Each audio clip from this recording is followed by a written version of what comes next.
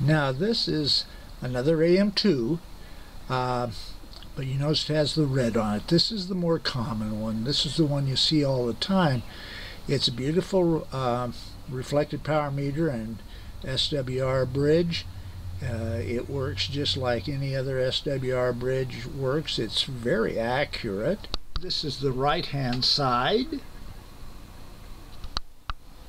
And this is the left hand side.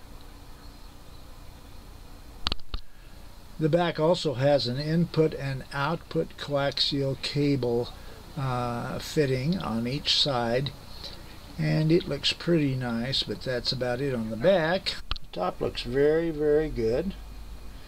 Let's swing back down to the front and that's the front. I'm going to go in for a close-up of the meter if I can here and that's a close-up of the meter. This is the AM2 with the red